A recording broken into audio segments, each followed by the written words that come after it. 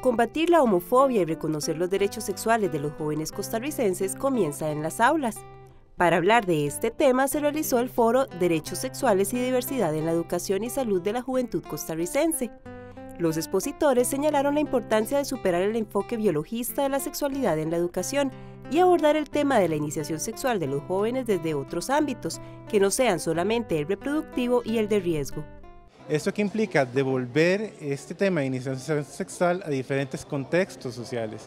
Es decir, el contexto familiar, que es el contexto donde los adolescentes van a tener un, un primer contacto acerca de lo que son relaciones filiales, de conyugalidad.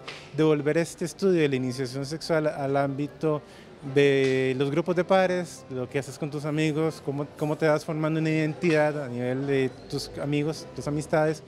El reconocimiento de la diversidad sexual debe ser percibido por los jóvenes como algo natural.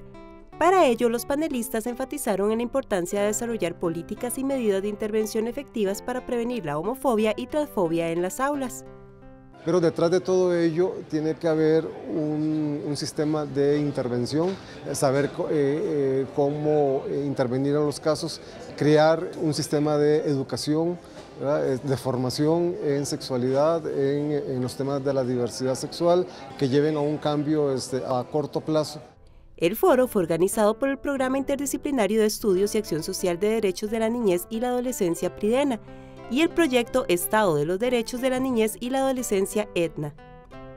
En la actividad participaron los estudiantes del curso Reproducción, Sexualidad y Humanismo para conmemorar el Día Internacional contra la Homofobia, la Transfobia y la Bifobia por una sociedad libre de discriminación.